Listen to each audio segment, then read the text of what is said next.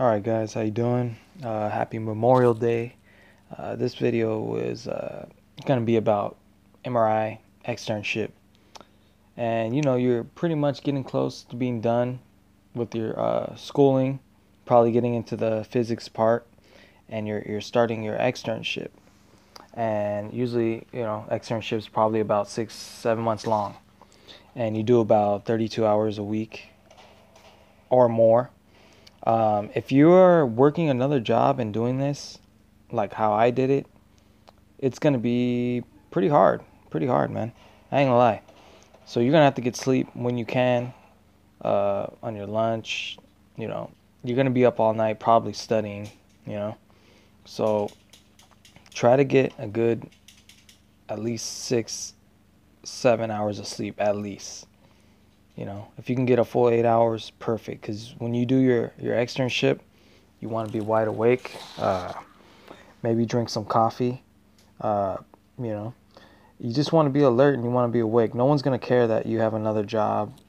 But if you're acting, you know, tired over there, lazy, making you know mistakes.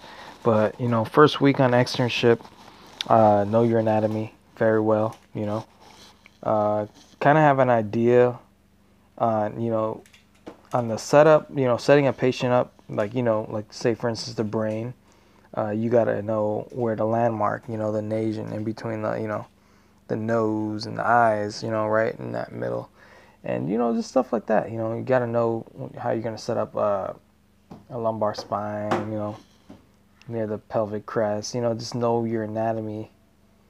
You know, when you're gonna set up, at least have an idea. You know, uh, know your basic, you know, planes, you know, transverse plane, or a lot of them called just axial plane, coronal, sagittal. Know your planes. They're gonna say they're gonna show you like a brain in the axial.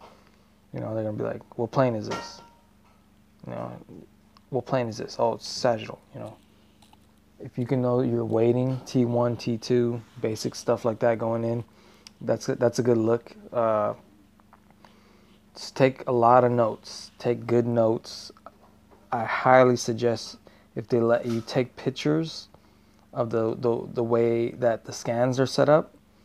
Uh, so you can see the scan positioning and all that. If you can take pictures of that, you know, of course you don't want to get any patient information in there, but just at least see how, you know, a picture of like the setup of the scan, you know, where your slices are.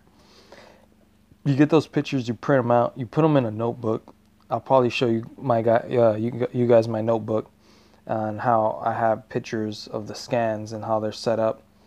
Uh, and you know, you want to have no good notes and know, or if you can draw good, draw it. But I highly recommend the pictures with the slices and all that. Um, you know, when there's downtime, you want to ask questions. Uh, you want to get familiar with the different coils you're going to be using, and at least you know, the first week, get an idea of what coils to use, you know, brain coil, L spine coil, um, wrist coil, knee coil. Get an idea of where those are at, how to set them up, you know, what kind of cushions, pads you need. Uh, then you get into uh, like screening the patients, you know, greet them. Uh, you know, getting the medical history and being able to like link their symptoms to the scan you're doing like okay if someone's coming in for like a c-spine for instance uh, and they have usually people with neck problems bulging discs they have tingling in their hands going down the right side left side you want to be very descriptive like tingling in uh, neck pain radiating down arm right arm tingling in hands for six weeks you know you got to be very specific. Uh, certain injuries in the spine, you know, can cause or head injuries. You know, have head, head injuries. Usually come around uh, with uh, dizziness, you know, blurry vision, that kind of stuff, headaches. So it's like when they're doing this, you know, learn what scans go hand in hand with the symptoms. You know, like if someone has a hurt knee, I'm already thinking they're going to either have lateral, medial, you know, anterior pain, uh, instability, uh, you know, stuff like that, man. You, you'll pick you'll pick it up. It's experience, but notice these symptoms always go hand in hand on what you're scanning. You know, shoulder, oh, limited range of motion. You know, you know, weakness in arm. Like you start to know, expect, you know, what you're scanning. You kind of know what's going on. You know, so, you know, that that first week of externship, get familiar with the coils. Get familiar with talking to the patients, getting patient history. You know, uh, take notes, take pictures of the scans if you can, get a notebook, be very, very descriptive in your notes, uh, and also know that certain scans, you know, like say for the instance of brain, like if they have a history of MS, you want to do that, you know, sagittal FLAIR, you know. If they had head trauma, you, you're going to want to do like a, I think it's like a coronal uh, you know, stuff like that. Um,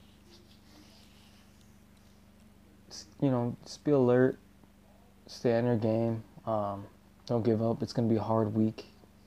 Externship, you know, hard first couple months. Just you know the notes and knowing how the scans go. If you can take pictures, that'd be great. You know. Well, this wraps up that, uh, this video. Uh, please subscribe.